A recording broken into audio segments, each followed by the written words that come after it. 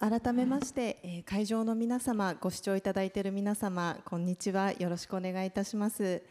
えー、本日はあのこの司会を務めさせていただきます、まあ、モデレーターというそうなんですけれどもあのこの役割を務めさせていただきます日本対がん協会の、えー、相談支援室のマネージャーの北見と申します、えー、日頃はですね対がん協会がやっております患者家族支援の一つでありますがん相談ホットラインという電話相談の相談員をしています。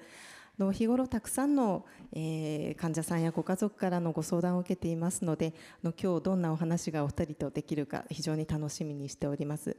であのがん相談ホットラインのことについては日本対がん協会のブースでもご案内をしておりますのでぜひあのお立ち寄りいただければと思いますあの昨年の、えー、4月からは祝日の相談も始めましたので土日も祝日も平日もあの毎日年末年始以外毎日ご相談をお受けしておりますのであの必要な方はぜひご利用いただければなと思います。はい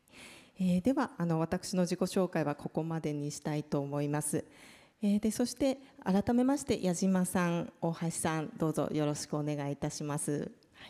でえーと、大橋さんなんですけれども本来であれば大橋先生とお呼びするところかもしれませんけれども、え今回は同じ目線で話をしていきたい、まあ、そんな思いがありまして、えー、本日は大橋先生ではなく大橋さんという呼称で呼ばせていただきます。はいえー、では早速えー、トークセッションに移ってまいりたいと思います。え、お二方とも本当に貴重なご自身の体験を交えてお話をいただきました。ありがとうございました。あの会場の皆さんがうんうんってうなずいてお話を聞いていらっしゃったりする場面もありましたので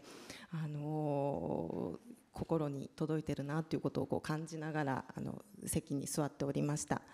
でまず、えっと、矢島さん質問してよろしいでしょうか？えっと、お話を伺っていてやっぱり患者さんといえども本当にこう人によって感じ方も様々でで、えっと、また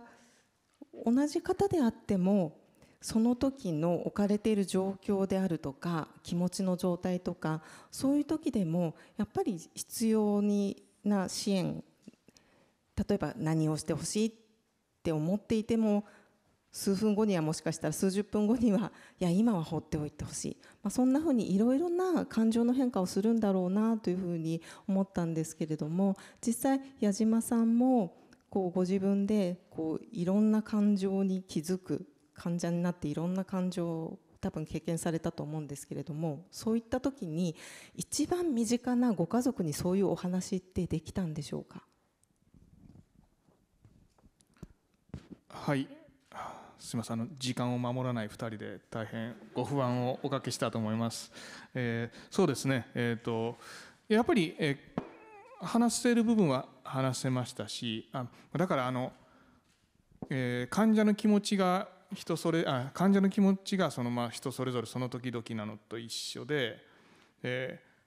ー、支える側も、まあ、人それぞれじゃないですか。なので患者側もその時々でその時々とあと内容によってあの相談先を変えてましたよね。ねこのことだったら妻の方がいいかなとかこのことだったら両親の方が分かってくれるかなということで人に合わせて、えー、その時本音を喋れそうな人に喋、えー、ってましたで仕事なんかはやっぱりその時信頼してた上司の方が喋りやすかったりということでその時の悩み感情によってまあ言い方表現の仕方良くないですけど人を使い分けてたっていうのが現状でしたね。ありがとうございます。確かにこのこのことであればこの人がいいかな多分ご病気になる前も普段からそういうこう判断を常にしながら私たちって人と関わり合いをしているなということを今のあのお話で思ったんですけれどもでもなかなかあのそうとはいえいざ自分が患者さんになった時に今自分がこう抱えてる悩みって誰に相談したらいいんだろうとか誰を頼っていいんだろうあるいは頼れる人がいるんだろうかそれもわからないっていうことで非常にこう混乱してあのがん相談ホットラインにもお電話してこられる方がいます。はい、で、えっと、次に大橋さん、えっと、大橋さんはいろいろとこうもともとまあ医師をやられてたわけですからいろんな知識がおありな中で患者を経験されたと思うんですけれどもそのこう混乱した中でもご自身もやっぱり矢島さんと同じようにあこれは誰に頼ろうかなとかそういう判断っていうのは割と冷静にできていたんでしょうか？いやいやもうね今の矢島さんのお話聞いてて素敵やなって思いました。いやじゃ使い分けておられたんですよね。そうですね、ね、い。やもうすごいもうぜひすみません明日から緩和ケアの医者をする時は患者さんに言おうと思います。でも己は違いました。そんなね、まあ、余裕がなかったって言ったらそうかもしれないんだけどえっと一つすみません下世話のたたびでとにかく食べられへんかったんですね。そのこれ言いがないこともかなり大影響している。あるいはそれまでに人よりも早く多く食べるのがあの三重県の北部にあるちっちゃな町ではプチいやいや町じゃなくて町のある一つの家ではプチプチ有名な私やったんです。だからもうねもうな月いったら全然2人3人前 OK ですよ今でも。あ今でその時は。食べられない。めちゃくちゃ焦ってたしがん治療も、うん、影響を受ける。でも体重はどんどん減り続ける。もう本当に40キロ以上減りました半年で、まあ、余裕なかったんでしょうね。でそんな時に、まあ後から思えば、えー、家族である私表のことなんだろうけど嫁さんがね持ってくるわけですよ。まあ、まあ、まあ、いわゆる茶碗。でそんな昔のような茶碗じゃなくてあのいわゆる子供の茶碗でも、まあ、なみなみまでいかなくてまあまあな量持ってくるわけですよ。でも自分は1回あたりスプーンに一さじ食べられるかどうかなのに食べられへんですよね絶対1回に。そんなん持ってくんなって、えー、まあ心身ともに弱っている体でも大声で怒鳴ってた記憶があるんです。だからまあ人に言えないことを言えてたって言ったらきれい事なんだけどつまり自分のまあ苦しみ訴えを一番近しい人に、えー、まあまあそのね、えー、いわゆる関係性プラスその距離も一緒に住んでるからまあ彼女にぶつけてた。でもねそれは緩和ケアの医者としての、えー、経験知識もちょっとあるんです。あ皆さん聞いてもいいですか？すみません。時間のことあるけど。つまり緩和ケア病棟でずっと働いてたんです。緩和ケア、えー、発病前15年ぐらいと亡くなる人多いです。やっぱり終末期の人もいるから。とその後ご家族が挨拶に来てくださる。そんな時にうん、まあ2、2, 種類とか2通りの話がありましたね。え例えばもうなんか吹っ切れたような顔して「もう葬式済みましたこんなに人切れてくれて」って「どうです先生見て写真」でもう私は、えー、夫が入院中もう全部やり尽くした悔いない。一方まだあんなことしてやればよかったこんなことしてればよかったとなかなか今日は思い切ってきましたけど普段外へ出れてないんですっていう奥さんも来る。この2つの違いも分かりますよね。つまりやるべきことまでいかなくてもやれるだけやった感とまだあれもっていう後悔残ってると残された家族の、えー、生活にも関わる、まあ、悲嘆長引く。だから悔いが残らないように一ぱいやらせてやろうということで家族に。だそんなん持ってくんなはあれだけど自分は動けるんだけど冷蔵庫から醤油持ってこいだの水持ってこお茶持ってこいだのを散々言い続けたんです。そしたらね最初はね5年前海外しく、えー、嫁さんもこうもやってくれてた。最近動き鈍い。ねそんなんこの話しました。後悔残るでってもうそういう感じでいっぱい見てきたんで。そしたら何と言われたか。もう十分やり尽くした後悔ない。ということで今は専属秘書に、えー、給料なし休みなしの専属秘書に雇っており雇っております。すみません。だから矢島さんとは全然違う。ごめんなさい。いいえとんでもないです。ありがとうございます。本当にもう実体験の実体実体験を語っていただくっていうのは非常にこう皆さんの心に届くんだなっていうのがこの笑い声からも伝わってきましたけれども。そうですね。その支えられる側の気持ちもそうですけれども今こう支える側のお話も先生の、えっと、大橋さんの中で出てきましたね。でやっぱりご家族の方からもあの支えたい気持ちはある何かしてあげたいんだけれども何をしたらいいのかっていうご相談をホットラインでも受けることが本当に多くありますそれはご家族だけではなくて職場の方だったりとかあのご近所さんからお電話いただいたりすることなんかもあるぐらいですで皆さんすごくあの支え方って悩んでらっしゃるんだなっていうのを感じてるんですけれども特にやっぱりその中でも身近にいらっしゃるご家族でやっぱり一番悩まれてるのかなと思います。でやっぱりこうせんあの大橋さんのお話の中でこうやれたなっていう感覚のある方と、まあ、悔いが残ってしまう方がいらっしゃるっていうお話でしたけれどもそうするとこうやる側も自分の思いが先に立ってしまってどうしても支える支えられる側の患者さんへの思いそこまでちょっと思い至るこう余裕がなくなってしまう。あの決して思いやってないわけじゃなくて思うがゆえに思うがあまりにこう一生懸命になりすぎてしまってついついそんな風にこうあの患者さんの気持ちに思い至らなくなってしまうということが起きているのかなというふうに感じます。はい、でそのえーと、やっぱりそうすると支える側も、まあ、午前中の保坂先生のお話とかでもありましたけれども支える側の心構えも必要なんだなっていうのを改めて感じましたけれども支えられる側を経験して支えてくれる人がどんな風であったら患者としてちょっと楽だったかなっていうふうに思われますかそれぞれあのコメントいただけるとありがたいなと思いますがじゃあ今度は矢島さんからお願いします。はい、えー、すごく難しいんです。えー、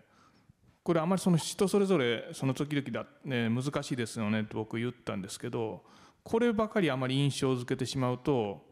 結局難しいからまあやらん方がというかまあ関わらん方が無難だよねっていうふうになっていっちゃうんですよね。えー、そうじゃなくてやっぱり僕は重要なのは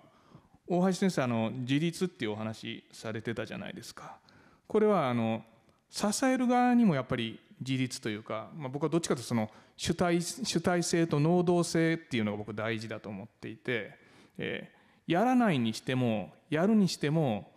主体的にえ能動的に決めてえアクションするアクションしないっていうことだと思うんです。僕さっきあの、えー、分からないことを、えー、分かり合うって言いましたけど、えー、分からないんだけど分かろうとする努力をし続けるできないかもしれないけどなんかできることを模索し続けるっていうことが大事でで結局そのやらないっていうのもあなんか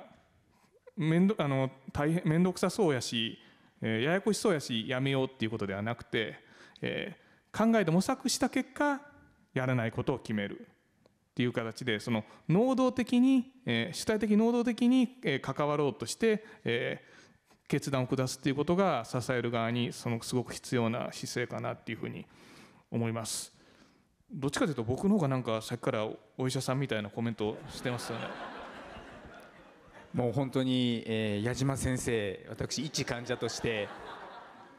見てもらいたいな。ありがとうございます。あのでも本当にこの今のこの関係を見ていただいてもやっぱり先生だからこうとか患者だからこうっていうのはないんだなっていうのを改めて今もうこの場で実感しながら今お話をしているところなんですけれどもあの大橋さんもぜひお願いします。あのいえもう矢島先生がおっしゃったのでもうその通りもう全く同感です今の本当に主体的能動的支える側もっていうのすっごく届きました。響き刺さりました。でまあ一患者である立場で言わせてもらうともうすっごくわがままなんです。もうまさにこの場が本当にそうで皆さんもうねうんざりしてるかもしれないけど自分が繰り返しになります。させてほしいあるいはできるできそうなことはやらせてくれ。でも無理な頼りたい頼れることは頼らせてくれ。でそれってまあ、一番いいのはそれは察せられる自分も医療者の端くれなんで患者が困っていることを察するのはそれはベストなんだけどなかなか分からないんですよねそれって。何で分かる？もうただ一つ言葉なんです。つまり患者が言うたら初めて分かる。なので言える人は言えばいいしで言えない人はその言えるような間柄をまああえて支える側と言いますと作ってもらえるときっとその皆さんも困った時苦しんでる時誰にも言わないですよね。相手選ぶっていうか結果的にまあ一つ言うと自分が信頼してる人に言うと思うんです。なのでそういう関係性を作ってもらえると大変患者は生きやすくなると思ってます。そうするとやっぱりそのがんになったからっていうことではなくてなる前からいかにこう周りとコミュニケーションを取ったりだったりとか、まあ、関係性を築いておくかすごくそれが重要なんだなっていうことを思いましたがやっぱりそうですよね。で多分皆さんもうんうんってうなずいてらっしゃるのであのそうかなと思いますであとお二人のお話の中からこう具体的にこう分かりやすい分かりやすいサポートだけが支えるっていうことではなくて見守るっていうことも実はサポートの一つ支え方の一つなんだなということを思いました。でその見守るっていうのは何もしないではなくて矢島さんがおっしゃったようにこれは本当にどうなんだろうってこうアクションすべきかすべきじゃないかよく考えて模索してでその結果これは何もしないのがいいだろうそういうことそうそういうことって結局その方を考えてることですからやっぱり無関見守るは無関心じゃなくて関心を持ちながらその方を見ていってでその方が SOS を発信した時にさっとこう手を差し伸べられるようなあのそれが見守るっていうことなのかなと思いましたがやっぱりお二人にとっても見守るっていうのも支えだなというふうに思われますでしょうか？それぞれお願いします。じゃあ今度は大橋さんからお願いします。はいえー、ありや思います。でもなんかね見守るってすっごく美しい綺麗な言葉なん言葉と自分は捉えちゃうんです。見守るって。なので、えー、すみません矢島さん引用させてください。で自分の言葉もちょっと入れさせてもらって主体的に能動的にほっとくそれなんかすっごくありがたいですね。ほっとくほっとかれるっていうとなんかもう無視、えー、放置になるけど主体的能動的にあここはもうそのままにしといた方がいいんやって判断して、えー、わがまま気まま許してもらえたらなんか生きやすいです。すみません勝手申し上げました。あいえいえ。でもあの実際によくご相談をお受けする中でもいや周りのいろいろしてくれる気持ちはありがたいんだけども本当はちょっとほっといてほしいんだよね。だけどそれを言うとやってくれようとしてる人に申し訳ないからなかなかその本音は言えないんだ、まあ、そんな言葉をたくさん日々聞くことがあるのであのでも放っておいてほしいっていうのは正直なあの言葉なのかなと思いますしその放っておくをこう冷たく受け取るのではなくってあのそれもさ支え方の一つなんだっていうふうに捉えていただくと少しあの支える側の気持ちも楽になるのかなと思いました。で矢島さんはいかがでしょうか？その、まあ、見守るだったり今の先生あの、大橋さんのお話に対して。はい、えー、先ほど、えーと、支える側の心構えの話に通じるんですけど僕一番やっぱり最初にポイントとして思っとき思っとくべきなのはいかにストレスを軽減するかなんですね。支えるっていうとどうしてもまず喜ぶことをしてあげたいっていうふうにいくんですけれどまず最初に考えなきゃいけないのは喜ぶことをするよりも今ストレスになってることを取り除いてあげることなんですよね。だから、えー、コミュニケーションのハードルを下げたりとか、えー、嫌がることをしないっていうことを、えー、まず考えてストレ今患者にとってストレスになってることストレスになりそうなことを排除してあげるその上に喜ばれることがあるっていうふうな形で考えてもらうのが一番いいのかなというふうに思いますなので見守るっていうこともそのストレスを軽減するっていうことではいう意味においては当然その支えることにつながってくるのかなというふうに思います。ありがとうございますそう思うと本当にこう支え方って多様なんだな、まあ、患者さんがいろんな気持ちを抱くようにこう支え方もたくさんあるんだなということがお分かりいただけたかなと思います。でえっとふとあのお話をしながら思い出した相談者の方がいるのでちょっとだけお話しさせていただけたらなと思うんですけれども、えっと、ご主人が奥さんの相談をされてきた方がいたんです。でまあ、共共働きをしているから、まあ、それぞれま家事もやりながらでもご主人の方はま料理が得意だったっていうこともあってご自分がこう奥さんをいつも支えているような感覚を持っていたっていうことだったんです。でも奥さんががんになられて抗がん剤の治療が始まってでいつもはこうあの朝行ってらっしゃいって見守見送ってくれてたそうなんです。だけど抗がん剤が始まって、まあ、ちょっと午前中調子が悪くって体が動かない。でもうそのお見送りなしで会社に行くようになったそうなんです。でその時初めてあ自分って実は妻に支えられてたんだな。行ってらっしゃいって笑顔で元気に言ってくれてることがあその日もう今日一日を頑張ろうそういう動機づけになってたあだから支える実は自分が支えていたと思っていたんだけれども自分も支えられてたんだなっていうあのことを語っておられた相談者のことをふと思いました。あの支える支えられる。それそれぞれどうしてもこう上下に関係があるように思いがちですけれどもでもそうではないんだっていうことをこうあのこのセッションを通じてあの私はちょっと感じたんですけれどもあのもうちょっとお時間も最後の方になってきましたので、まあ、この回では何か答えを出そうということではなくてお互い様ってどういうことなんだろう支えられる支えるってどういうことなんだろうのその考えるヒントを持ち帰っていただけたらなという思いであの企画をされたものになります。でちょっとまとまりのない形で終わってしまうんですけれどもあの最後にそれぞれ矢島さん大橋さんから一言ずついただきたいと思いますがまず矢島さんお願いいたします。はいありがとうございます。そうですねやっぱりなんか、えー、大橋先生の話にその、ね、依存と自立というお話があってその、えー、ありましたけどやっぱりその自立っていうんですかね、えー、まあ何でしょう事実をちゃんと認識することは僕大事だっていうふうにお話を聞いてて思いました。事実っていうのは、えー、自分がやっぱちゃんとやったことっていうのを認めてあげるっていうことですよね、えー、例えばその大橋先生を座って、えーと、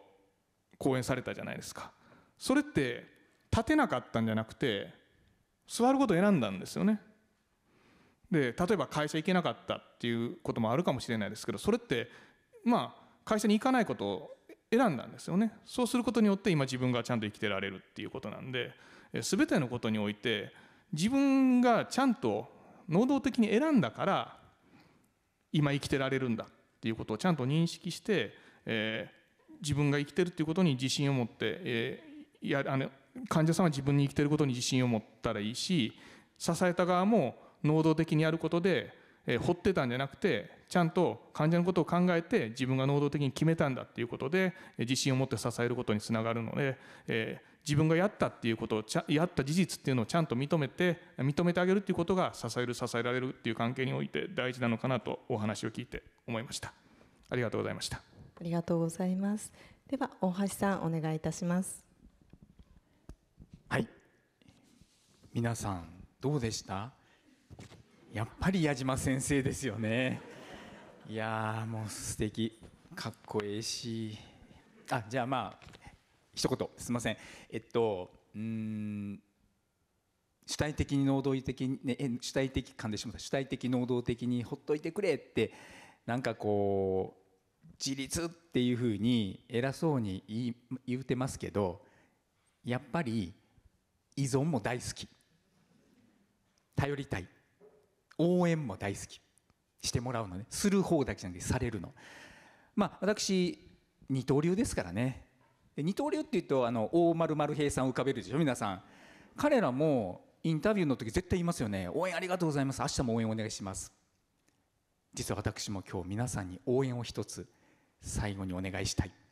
で、まあ、保坂先生ほどじゃないんだけど私も細々と世にちょこっと本を出すことががんになってできたんです。医者の時全然だし。だから医者の時からもうすっごく活動しておられるもう谷野先生憧れます私。で戻ります。ちょこっと細々出して出してる。でもそれ皆さん知らない人いっぱいいると思うんです。でじゃあ例えば書店さんスマホで私も携帯電話手放したままなんでないんだけどスマホでアマゾン楽天でってでもねそんな面倒くさいことを煩わしてはいけない。ということでこの会場にブースを設けまして販売しておりますのでもしもよろしければまあ1冊と言わず2冊いやもう全部でもよろしく応援のほどお願い申し上げます。以上です。ありがとうございます。応援という便利な言葉を今。ですんません便利。とんでもありません、はい、では時間になりましたのであの本日登壇いただきました矢島さん大橋さんありがとうございました。皆さん拍手でお願いいたします。